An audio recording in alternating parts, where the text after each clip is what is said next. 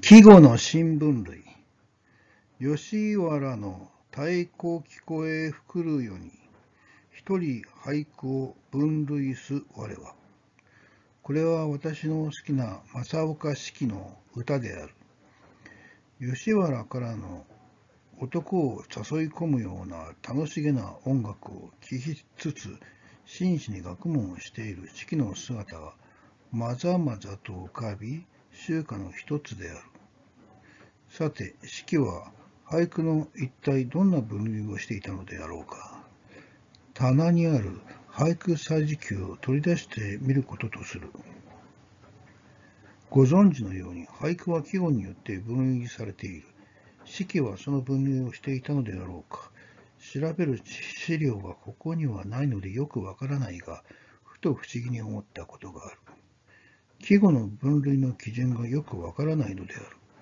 何故月が秋の季語なのか、ありがどうして夏の季語になるのかなどである。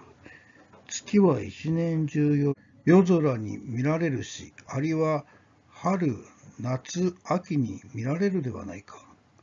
季語とは一体何であろうか。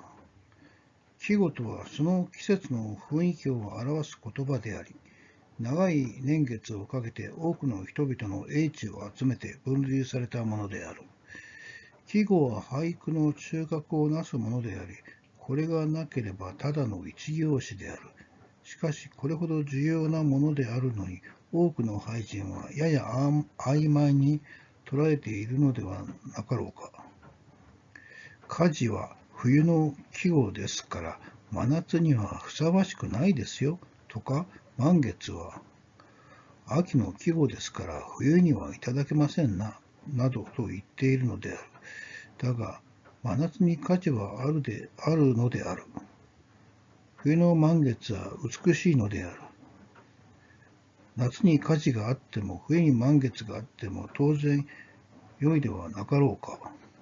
また本当に火事は冬の季語、満月は秋の季語でなければならないのであろうか。それなら火事に真夏の言葉をつければよいのではないかという意見が出てくるであろう。しかし、俳句はとても短いのである。言葉をたくさん使用できないのである。季語はもともと俳句の言葉が短いがゆえに定められた決まりではなかったのではなかろうか。そこで私は季語の新分類、すなわち第一季語、第二季語、第三季語を定めることとする。この方式は今までの季語の分類を改良したものであり、今まで不便不便と感じられた面も改正するものである。では、第一、第二、第三季語とは何であろうか。夏を例に挙げて定義づけてみよう。夏の第一季語、括弧あるいは夏の絶対記号、括弧閉じ。絶対的に夏しかありえないものである。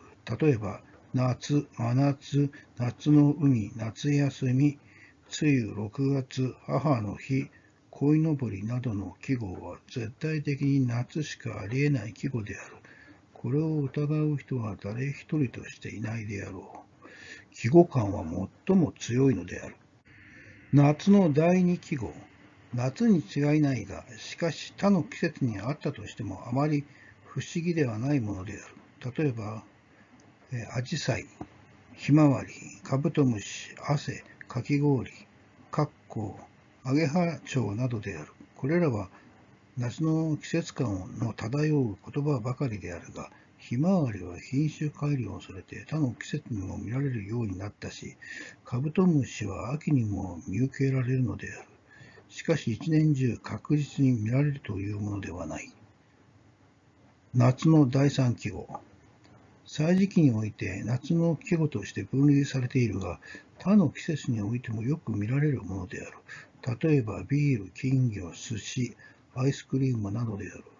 これらはなんとなく夏にふさわしいという曖昧な理由で夏の季語に分類されているものである。金魚など一年中飼われているし、寿司は冬でも食べるのである。つまり、現代社会において季節感が曖昧になってしまっている季語である。この第三季語は季節感が弱いのである。この分類法の利点を挙げるならば、季語が重なったりした場合の分類が容易であり、季節感の強弱が把握しやすくなるという点である。では、夏の季語と他の季節の季語がとが重なった場合を考えてみよう。大寒や部屋で美味しくビール飲む。どうでもいいような句であるが、説明句として示しているのである。